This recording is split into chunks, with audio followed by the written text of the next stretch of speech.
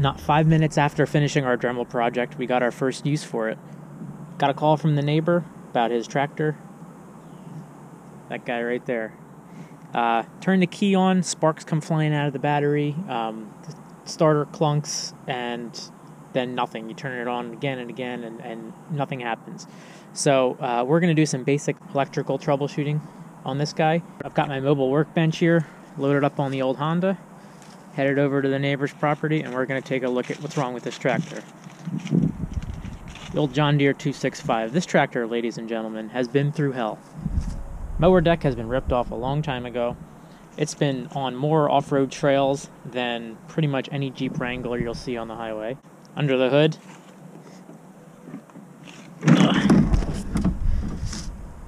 the venerable Kawasaki 540cc single-cylinder engine. Unkillable. Well, or so I thought. Here is the root of the problem. The battery, for the longest time, had no tie down. So every time you go over a bump, it came flying off, ripping off all the wires from the ignition switch. Uh, had it fixed with a zip tie, but I guess you make it stronger and they find a new way to break it. So here's the ignition switch. We got wires coming off all over the place. They're not labeled. The whole tractor's been re- rewired at some point in its 30 year lifespan, so no schematic is going to help us. Nor do I have a schematic for the switch. So we're going to go over uh, how to basically figure out which each wire on a switch does with no help from a schematic. First things first, I've got the negative battery terminal disconnected. Uh, we don't want this hitting and arcing because there's loose wires all over the place. As you can see from the weld marks, it's already touched a couple times. So let's go tuck that down there. One nut on the switch here. And out comes the switch. Last time I rewired this, I put some tape on it, um, but the tape's rotting away, the Sharpie's worn off, so we're going to pretty much start from scratch here. All right, we're back to the mobile workbench. Uh, any switch like this is going to have three positions. It's going to have off, on, and start. In the off position, uh, you should have continuity between the ground pin and the pin that goes to the, uh, well, it could be a magneto, it could be the spark plug wire. Whatever it is, it's going to be something that will ground the spark in the off position. That keeps the engine from running, and it will also kill it if it already is running. In the on position, you should have power coming from the battery to the ignition. That will power uh, things like the gauge lights, the headlights, um, any accessories you have. And then in the start position, you'll have continuity between the battery positive and the wire going to the starter solenoid. So that's what we need, uh, and that's what we're going to go one by one and figure this out. It's going to be like a game of Clue. Oh, I've got my leads hooked up to my meter. We're going to do a bunch of continuity checks. One of the pins is brass. That's almost always the ground, so we're going to put one on there. Now, since the switch is in the off position, we're looking for the pin that has continuity with this. That will be our magneto wire. That's the first one we can rule out. So we got nothing, nothing, nothing. We have continuity there. So this guy here is our magneto wire. We can check that one off. Let's turn the switch into the on position. One click. Uh, we need to find the battery positive. I already know from previous experience, this guy is the battery positive. That's one of the few wires that wasn't ripped off. So we'll put one lead there. Now we're looking for the terminal that has continuity with battery positive. It's not going to be the magneto. It's not that one. Hopefully it's not ground. Okay, so this actually has two. Um, most likely um, they're redundant. One is for the gauge lights and the accessories. This one is specifically for lighting.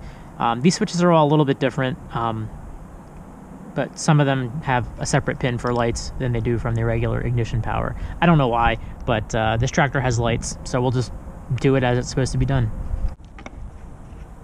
So we've got our magneto kill wire, we've got our switched ignition, and we've got our uh, light wire. Um, the last thing we need to do is find the wire that goes to the starter solenoid. Whatever wire it is, we'll have continuity with the battery positive when the switch is turned into the momentary start position. So I know it's not ground. I know it's not lights. Oh, that's because ignition's on. I know it's not lights or switch power. I know it's not the magneto. That's the only one left. My theory is correct. We should have off, on, and start. And that's all it is. So through process of elimination, we've got each one um, labeled. Now I uh, I've been a little bit disingenuous with you folks. I've actually already done this, and I've used my little Dremel to grind in what each one is, because I tried Sharpie and that kept wear- wearing off. So uh, it's just something that's going to make life easier for the next schmuck who's got to work on this thing, because most likely that next schmuck is going to be me. Since this tractor leads such a hard and rough life, um, I don't think I'm going to go back to these. They tend to slip right off. Um, we're going to do a reliability mod. What I'm going to do is cut the wires and hard solder them right to the switch. That way they don't come off again. Now, just so it's serviceable, we're going to get a 6-pin Molex connector and solder that in as well. That way the switch can come out if it's needed, but it's going to be a much stronger locked connection um, as opposed to these guys, which come right off every time you hit a bump. These are the connectors I'm going to be using. They're called Molex connectors. It's a trade name, but they're super common. What you have is two little locking pins. You push them through the hole in the connector, and uh, they lock in. So they make a very strong fit. You hear the nice little satisfying click, and it will not come out. Um, the other nice thing about them is, despite being so strong, they're also super easy to pull pins and remove them out. You just need one of these cheap little tools. It's a Molex pin removal tool. You just slip it over there, push the pin in, and out comes the out comes the wire. So if you ever need to move something around or replace one, it's super easy. The connectors are cheap, as are the pins. However, uh, in my line of work, I wind up with a lot of scrap wiring harnesses with pins on them. So I'm just going to reuse one. I've cut the wires off. I'm just going to strip the insulation off and solder directly onto it. It's kind of a uh, redneck way to do it. The right thing to do would be to buy brand new ones that you would just stick the wire into and crimp on. But uh, I'm not uncrimping these. Um, that's too much work. And uh, since Radio Shack closed, you can't buy these in a store, and we need this fixed today. We'll begin by stripping the insulation off of the wires, tinning the wires, and tinning the switch where we're going to solder it on.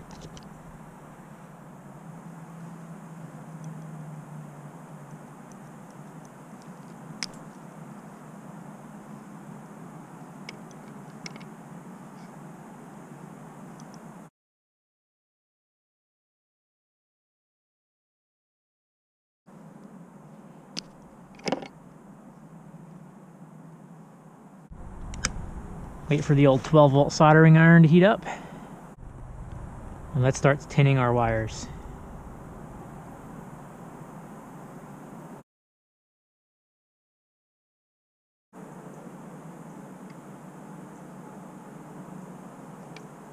Soldering to crusty metal is very, very difficult. So the one thing you have to do before you try anything like this is scuff up the metal, get it nice and clean so it'll accept solder.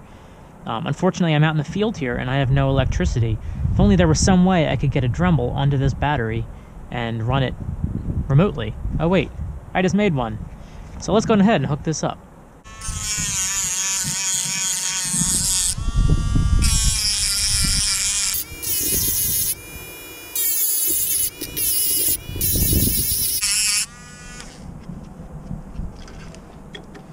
Already paying for itself. We'll move on to tinning the freshly cleaned terminals on the switch.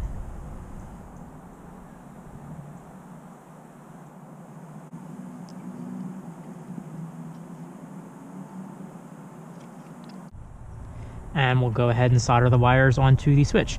Gonna put a little bit of heat shrink tubing on each connection, just because this tractor lives outside.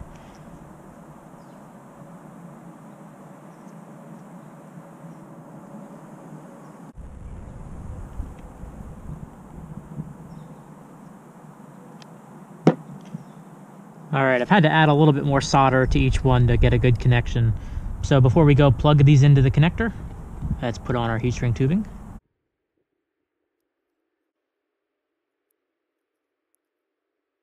Normally this is where I would whip out my heat gun and shrink these all up, but we're out in the field so we're going to make do with a regular butane lighter. I'm going to go down below where there's no wind, give this thing a fighting chance.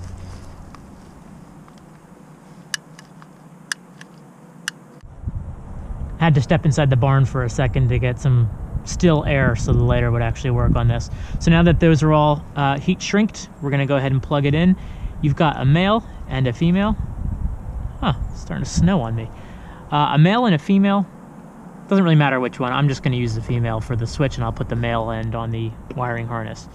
So, let's put him in the small end. And listen for the click.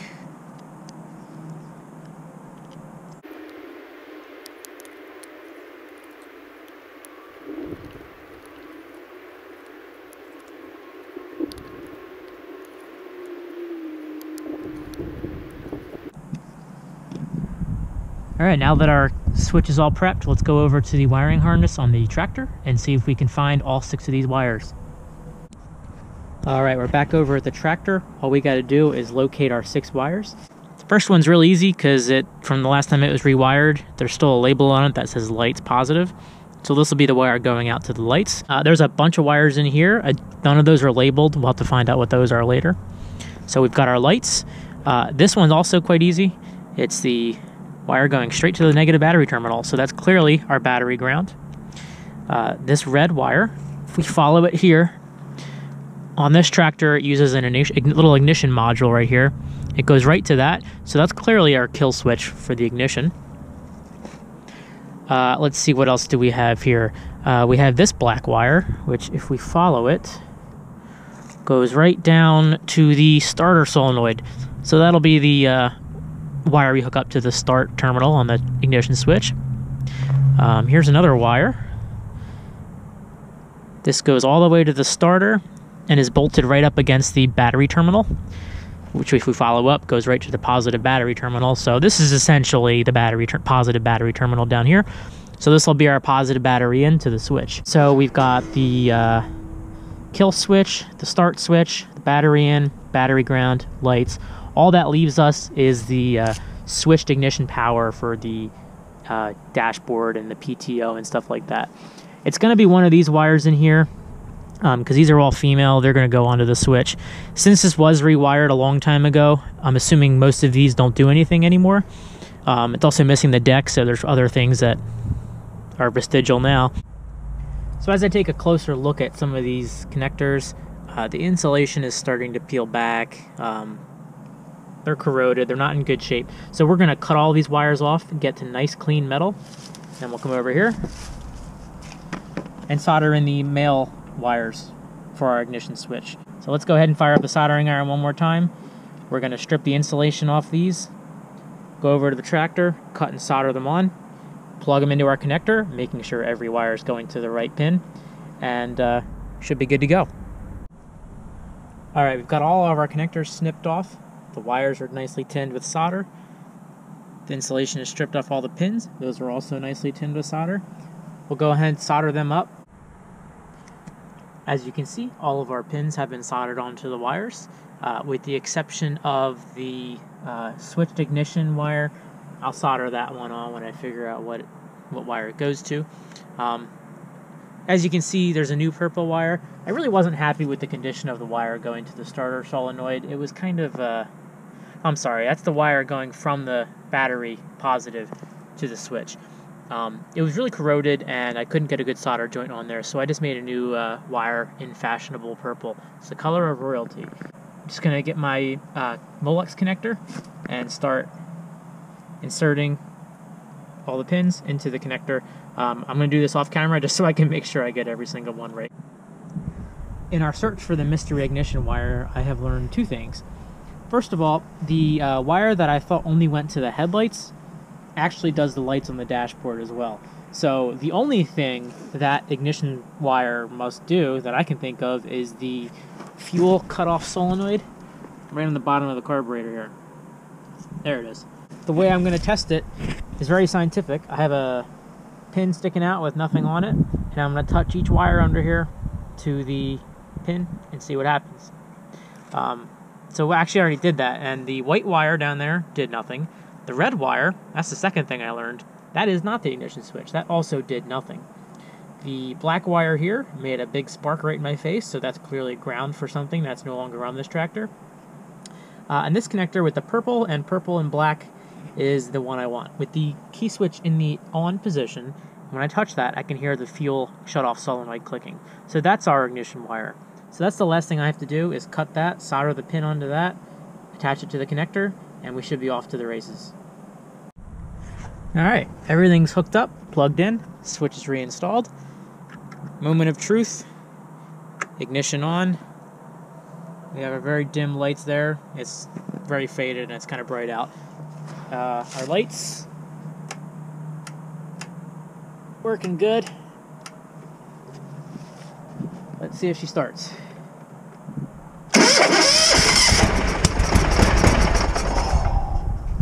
Try it again with the choke off. All right, well, it starts, needs a little work with the choke, but I would say our problem is fixed.